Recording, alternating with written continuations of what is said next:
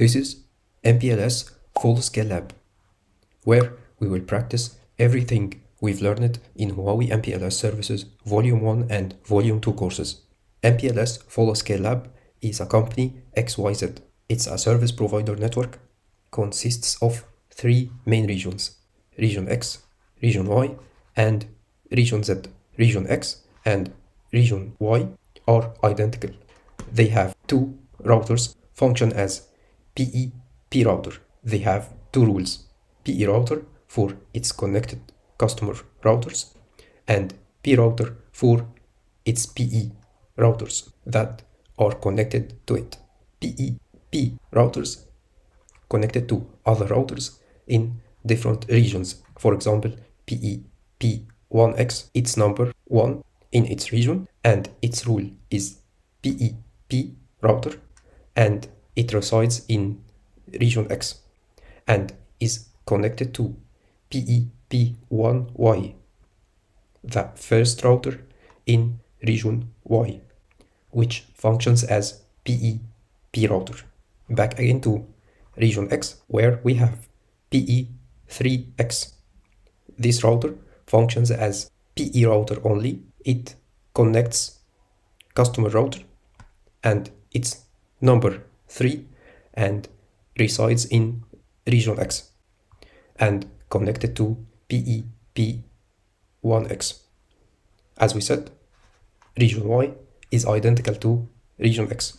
It has same number of routers and same connections.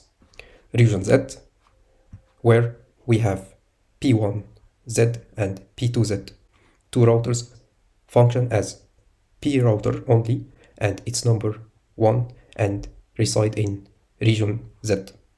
It has 4 PE routers PE3, 4, 5, 6.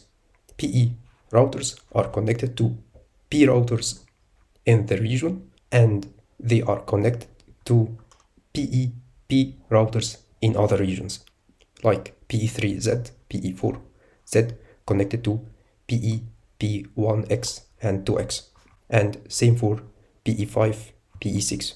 As we can see, all three regions are connected to each other using the core routers, the P routers. P1X is connected to P1Y and is connected to P1Z and same for other P routers.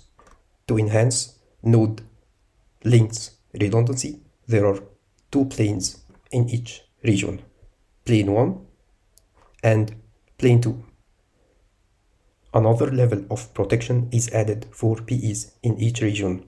They are connected to each other like PE3X is connected to PE4X and same for PE3Z to PE4Z and PE3Y connected to PE4Y. There are three route reflectors. Route reflector 1 resides in region X, route reflector 2 resides in region Y, and route reflector 3 resides in region Z. There are three customer branches customer A, customer B, and customer C. Customer A has two different branches. The first branch consists of two routers, CE5 and CE6, and they are connected to the two planes of region X. They are connected to PEP1X and PEP2X to enhance redundancy for customer A. This is the first site. The second geographical site for customer A is represented by CE7 and this branch is connected directly to region Z. Both planes of region Z to PE3Z and PE4Z and it has a direct connectivity to the first branch of customer A site. CE7 customer A is connected directly to CE6 customer A. This is for more protection and another level of redundancy. Customer A required to connect its branches directly with another provider. So customer A has the first type of connectivity to company XYZ, which is the first service provider, and another direct connectivity via another service provider. We have same for customer B. It has the first branch connected to region Y.